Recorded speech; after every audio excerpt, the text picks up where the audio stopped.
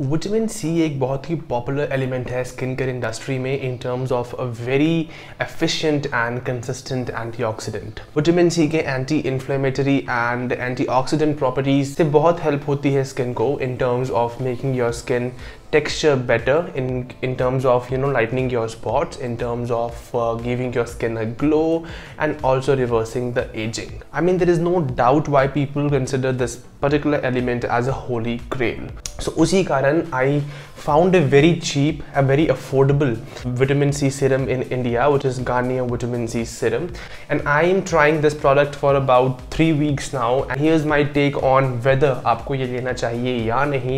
kya ye effective है या नहीं और क्या इसका जो प्राइस है उसको जस्टिफाई करता है या नहीं? So without wasting much time let's get started पहले हम शुरू करते हैं क्योंकि ये सिरम है so we should start with the texture and the consistency of the serum now the serum appears a bit milky थोड़ा सा मिल्की है दिखने में और टेक्सचर uh, काफ़ी लाइट है just a bit thicker than water which makes it very very easy to spread it all over your face and जिसके कारण ये सिरम काफ़ी ईजिली अब्जॉर्ब हो जाता है स्किन में. Now if you have a combination oily skin like me तो मुझे क्या हो रहा है कि मैं इसको लगाने के बाद मैं नोटिस कर रहा हूँ कि थोड़ी सी ग्रीसीनेस या ऑयलीनेस रहती है स्किन पे, जो कि मैं अगर किसी कपड़े या टावल से डैप कर लूँ तो ठीक रहता है। और in case you have a dry skin then you might have to put up a gel based moisturiser और any moisturiser for that sake to keep your skin moisturised इसके अलावा I haven't seen any kind of side reaction tingling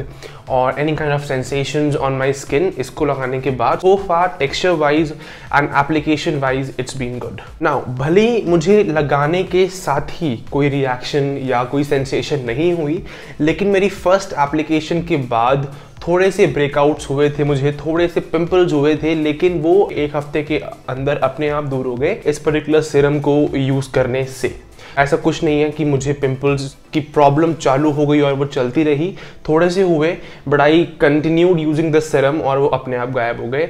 So again that wasn't a big deal but still as a vitamin C serum I would prefer something that would not give me breakouts because कुछ skin types ऐसी होती हैं जिनमें breakouts एक बार हो गए तो वो ठीक नहीं होते। सो so, उस टर्म्स में ये serum might not be a good choice for you if you are already having acne if you are already are facing pimple related issues then I would not recommend this to you but if you have a normal skin and okay skin then go for it it might give you breakouts but they will get resolved after continuous application of the serum अब सबसे बड़ी गलती जो Garnier ने की है इस product को बनाते वक्त या मार्केटिंग करने वक्त that it is gonna give you a spotless skin in three days but let me tell you it is a complete nonsense because सिर्फ़ ये सीरम नहीं, दुनिया में से कोई भी सीरम या स्किन केयर प्रोडक्ट नहीं है जो आपको तीन दिन के अंदर हंड्रेड परसेंट रिज़ल्ट दे दे। मुझे तीन हफ़्ते हुए हैं। आई हैव नोटिस्ड कि मेरे एक्ने स्कार्स या डार्क स्पॉट्स जो भी हैं, थोड़े बहुत वो लाइटन हुए हैं। पूरी तरह से ख़त्म नहीं हुए हैं। हाँ थोड़ी सी ग्लो आ गई है स्किन पे, थोड़ी सी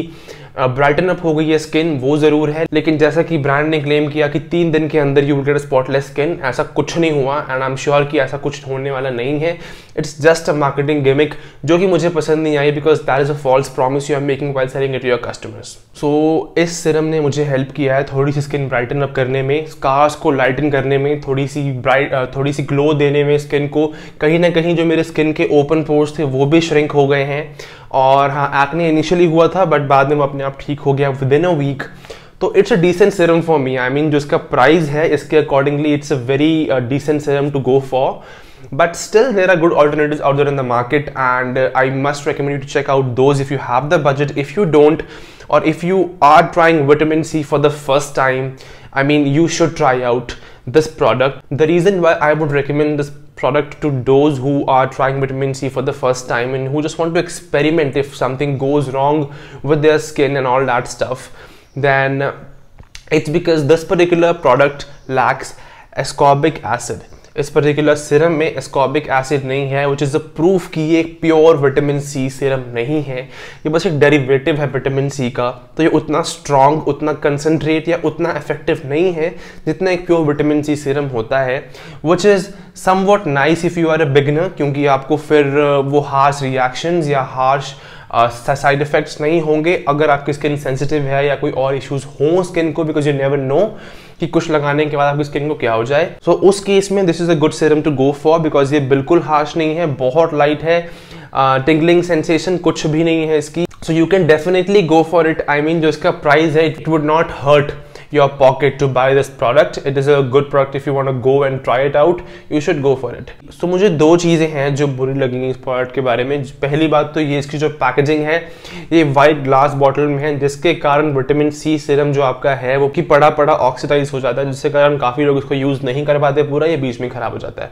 सो so, जिनको नहीं पता उनको मैं बता दूँ कि आपको ये पर्टिकुलर सीरम स्टोर करना पड़ेगा एक बहुत ही डार्क जगह में लाइक वार्ड्रोब के अंदर कबर्ड के अंदर ड्रॉर के अंदर, जहाँ इसे किसी भी तरह की लाइट टच ना करे बिकॉज़ जहाँ टच कर गई, वहीं ये पीला पड़ जाएगा, वहीं ऑक्सीडाइज हो जाएगा। जिसके बाद ये सीरम यूज़ करने लायक नहीं रहेगा। और जो दूसरा ड्रॉबैक है, जो मुझे काफ़ी यू नो शॉकिंग लगा, वो ये है कि इस ब्रांड ने अपनी पैकेजिंग पे या लेबलिंग में कहीं भी ये मेंशन नहीं किया कि इसमें विटामिन सी का कंसेंट्रेशन कितना है, यानी कि कितना परसेंट ऑफ़ विटामिन सी इस प्रोडक्ट में है जो कि बाकी ब्रांड्स करती हैं। भले वो किसी भी तरह का सिरम हो, बाकी ब्रांड्स ने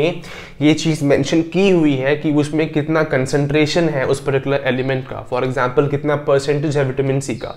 जिससे कि कस्टमर्स को पता रहता है कि क्या वो प्रोडक्ट हार्श है उनकी स्किन के लिए या नहीं, या उनको किस डेंसिटी में कितना स्ट्रॉन्ग सिरम लेना चाहिए। तो उस चक्कर में I think this product is a bit misleading application में और यूज़ में it's decent it's giving decent result